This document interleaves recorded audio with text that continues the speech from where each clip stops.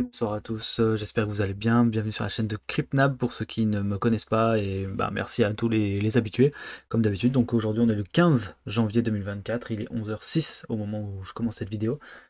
Vidéo un petit peu particulière puisqu'on va pas euh, faire comme d'habitude essayer d'anticiper un petit peu la semaine et d'observer un peu les, réactions, mais on va plutôt parler du bah, de 2024, de, des différents scénarios qui vont, qui vont l'axer.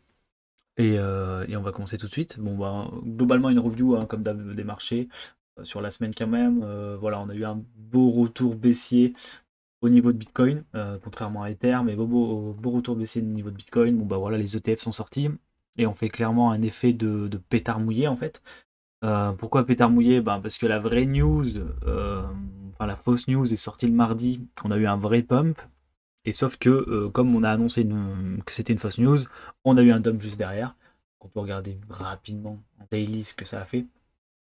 Ça a fait cette espèce de, pump and dump ici, là, d'accord? Euh, Et du coup, le marché a eu du mal. Euh, n'a pas apprécié du tout en fait ce qui s'est passé. Donc on a eu ce pump and dump. Euh, sur ce jour-là, euh, on, peut se mettre peut-être sur le BTC en une heure pour voir exactement. Voilà. du coup, ça a été juste ici. Euh, on a eu la news mardi, pump, et derrière, gros dump parce qu'en fait c'était une fake news, et derrière, la sortie de l'ETF n'a pas eu d'effet réellement positif. On est venu gratter les liquidités et on est reparti dans l'autre sens. Donc euh, potentiellement c'est euh, ce faux scénario qui a fait qu'on a, mal cassé on va dire et qui du coup ben, finalement euh, plutôt retour négatif plutôt que positif de ce, de ce marché. bon c'est pas très grave, hein, on va s'en remettre les amis, vous inquiétez pas. De toute façon il fallait s'attendre à un petit sell the news proche de liquidité ici, donc finalement on est venu gratter les liquidités, on est rentré en zone de rechargement de short et hop on se retourne. Bon, rien de spécial à ce niveau-là, à cet instant T quoi. Euh, avant de commencer du coup les scénarios de 2024, on revient sur les scénarios de 2023. Bien sûr, je les avais supprimés, donc je, me les remets grâce à, l'article qui est, là. On avait anticipé quatre scénarios, un plutôt bullish qui venait justement euh, gratter les liquidités assez haut euh, pour stagner. Finalement, bah, non seulement on a gratté, mais en plus on a décollé sur la fin de l'année. Donc vraiment top. Et surtout, on a, bien avalé cette zone des 34-38 000 là, qui maintenant va faire office de support certainement. Euh, et les deux autres scénarios étaient un peu plus. Il y en avait un qui était très bearish, mais j'y croyais pas du tout. Mais du coup, les deux autres, c'était plutôt un long boring market, l'autre un pump, mais euh, avec un retour du boring market derrière. On aurait juste gratté les liquidités autour des 25 000. Finalement, on, a fait le scénario un bullish en amélioré, puisqu'on est bien venu gratter haut. Puis on a gratté encore plus haut avec ce retour au niveau des 40, presque 50 000 dollars, puisqu'on a méché à 49 000 dollars euh, il n'y a pas longtemps. Donc, donc voilà, des scénarios plutôt le scénario plutôt boule pour 2023. 2024, bah, c'est la grosse question. Où, allons-nous? Donc là, je suis en log, hein, donc c'est pour ça, là, vous voyez, on est, euh, les 100 000 sont là-haut. Euh, euh, donc ça fait vite resserrer. Pourquoi j'ai mis en log? Bah, Tout simplement parce que c'est cette tangente-là, je, l'aime beaucoup. Cette droite fait office de support et un retour bah, sur cette zone violette, cette grosse zone violette, hein, pourrait être une occasion d'entrée qui serait très bullish. Euh, ça voudrait dire tout de même qu'on n'irait pas, on retournerait pas aux 25 000 dollars. Euh, par contre, potentiellement, on viendrait mécher au niveau des 30 000. Euh, du coup, on va commencer par le scénario 1, 2, 3, 4, on va faire dans l'ordre. Bon, bah, le scénario 1, c'est le scénario plutôt bullish. Donc là, on a un retour baissier suite à l'ETF. On gratte les liquidités, on repart vers le nord et on va chercher les liquidités qui sont ici au niveau des 52 000 dollars. Euh, en s'installant au-dessus des 52 000, les gens peut-être commenceront à se dire ouais on va, on va dump, on va faire un dump de marché et à la place on repart en nouvelle ATH euh, pour la fin de l'année. Et donc le bull run se terminera peut-être assez tôt, euh, janvier, février, mars 2025, autour voilà 120, 150, ça ça dépend des targets de chacun. Mais voilà, donc avec un départ, ce sera un départ cette année avec nouvelle ATH pour, ce début pour cette fin d'année. Un scénario euh, un peu plus peut-être réaliste, euh, c'est le scénario 2. Donc euh, je voyais bien encore un pump moi pour aller chercher, mais bon peut-être qu'on l'aura pas, mais dans ce cas-là c'est pas grave.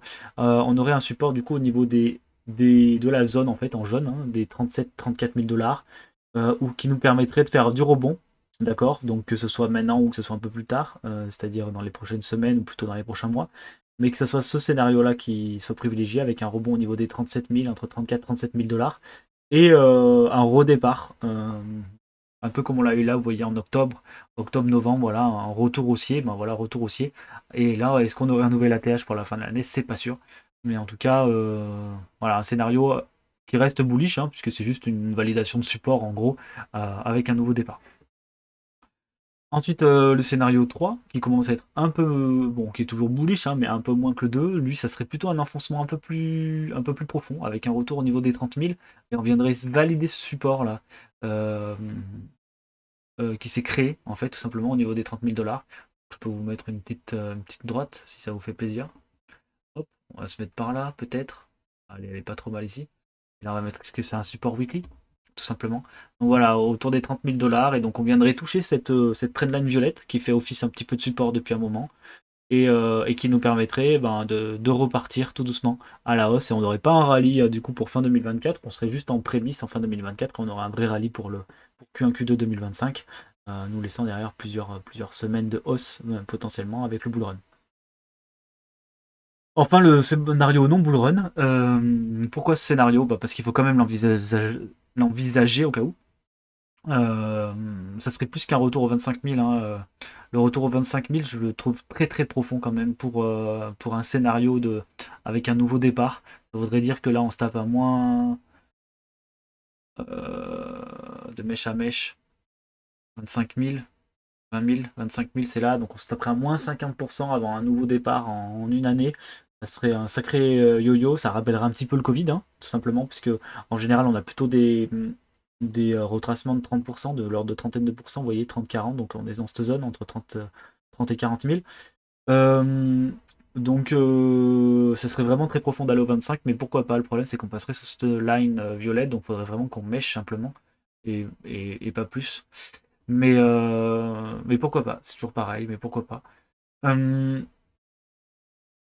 Donc le scénario rouge, par contre, euh, lui, ça serait plutôt, euh, voilà, on casse ces 30 000, on refait un retest de, ce, de cette support, on va aller en tant que résistance derrière, et derrière, on s'enfoncerait, on irait même peut-être retourner autour des 20 000, et on ferait un retour tout simplement dans la zone support ici, qui ne doit pas casser, je vous le rappelle, parce que si jamais on fait euh, une cassure, par exemple, des 15 000 dollars, je ne sais pas, hein, pas, ça voudrait dire qu'on change totalement la tendance long terme, très long terme de Bitcoin, et on passe sur une nouvelle tendance très long terme baissière. Euh, donc les ETF auront bah, carrément tué euh, le marché puisque un, truc comme ça c'est bah, chaud, hein, c'est plusieurs années de baisse quoi. Donc euh, c'est pas à ce à quoi on s'attend avec le halving puisque le halving je vous le rappelle, ne vous inquiétez pas trop, devrait permettre un retour, une montée du prix du minage Bitcoin et on s'attend à un prix autour des 20 000 dollars grosso modo puisque à l'heure actuelle il me semble qu'on est autour des 13 000. Donc on devrait retourner autour, on devrait tourner autour des 20 000 dollars pour le prix du minage d'un Bitcoin. Donc globalement, euh, on ne devrait pas revoir ce prix. Euh, toujours pareil sur une tendance qui est, qui est haussière, mais on ne sait jamais. Les ETF ont peut-être fait très mal et on a peut-être besoin d'avoir un vrai retour baissier pour recharger au niveau des ETF euh, et que du coup le tout s'enchaîne par la suite. Mais ça serait assez étonnant, puisque ça voudrait dire qu'il n'y a pas de bull run, hein, tout simplement. sur 2024, mais bon, c'est 2025, pardon. Donc c'est à envisager quand même, faut, faut, faut rester la tête sur les épaules. Euh, dans tous les cas, je pense que cette trendline violette pour moi va tenir. Donc mon scénario préféré, c'est plutôt 2 ou 3. Euh, je vois mal le 1 se faire, je vois mal partir euh, seul comme ça. Après, les gens de. Est-ce qu'ils vont devenir bearish tout de suite? Je suis pas sûr. Franchement, c'est dur à dire. Mais par contre, voilà, est-ce qu'ils vont devenir bearish sur quand on va venir taper les, les, 30, les 36 000 Est-ce que ça sera suffisant? Ou est-ce qu'on aura besoin d'aller aux 30 000 et peut-être même de faire une petite mèche comme ça, vous voyez, 28, 27, hop, et on réintègre un petit peu comme on a fait là, vous voyez. Donc est-ce qu'on a besoin de faire un mouvement comme ça pour, euh, faire flipper, en fait, hein, tout simplement, assez les, personnes qui sont rentrées dans ces zones-là pour leur dire, ben non, moi je vends, alors qu'en fait, du coup, pop, les gros vont recharger C'est une question, il faudra voir le sentiment, parce que là, c'est la psychologie, hein, comme d'habitude, qui, qui, domine le marché, qui fait euh, partir vers le nord ou vers le sud. Et donc, euh, excusez-moi, et donc, globalement, moi je vois bien quand même un retour, euh, voilà, des opportunités d'achat autour de, cette zone jaune ou au niveau de la trendline violette pour repartir en bull run. J'ai du mal à me dire que le scénario 4 peut arriver. Euh, le 1, je le trouve quand même très très bullish. Il faudrait vraiment un changement tout de suite et boum, on reparte pour que le 1 se réalise. Donc voilà, plutôt 2 ou 3 de, mon sentiment à moi. Bon, après, euh, je vous rappelle que pour 2023, mon sentiment préféré était plutôt le scénario 4, donc celui qui venait gratter les liquidités et qui revenait stagner au niveau des 20 000. Au final, on est parti avec le scénario 1, donc je suis peut-être un peu trop bearish pour, euh, mais bon, en tout cas, je préfère rester avec mon biais, euh, on va dire, euh, de précaution, plutôt que d'être d'être trop agressif, etc. et je tenais à féliciter aussi ceux qui ont pris des bénéfices tout simplement sur cette montée. Parce que potentiellement vous allez. Faut que j'arrête de faire. Excusez-moi. Et il faut que. qui ont pris des bénéfices du coup sur cette montée et qui vont potentiellement profiter de la euh, de la, de la, du retour baissier tout simplement au niveau, au niveau de la zone jaune au niveau de la trendline violette. Euh, sachez que moi j'ai vendu à peu près, à peu près le top hein, quasi. J'ai vendu ici au niveau des, 48 000 dollars je crois. Donc, euh, donc voilà, on est assez alignés ensemble je pense sur, sur la stratégie. N'hésitez pas en commentaire à me dire ce que vous en pensez, si vous préférez la 1, la 2, la 3, la 4. N'hésitez pas à essayer de discuter, à remettre en cause un peu ce que je dis aussi. C'est le but aussi de, des commentaires. Donc, euh, voilà, j'attends, vos retours à ce sujet. La semaine prochaine, on reprendra le classique, c'est-à-dire on, essaiera de faire semaine à semaine, donc on retournera sur Bitcoin tout simplement pour regarder euh, les liquidations, etc., euh, etc. Mais, mais pour l'instant, en tout cas, je vous souhaite à tous de passer une agréable semaine. On se retrouve du coup la semaine prochaine. comme d'habitude, je serai en live ce soir à 21h chez Cryptocademia pour bah, justement discuter AT, discuter euh, placement sur certains altcoins, etc. On a notamment Ether qui reprend une euh, belle dominance par rapport à, Bitcoin.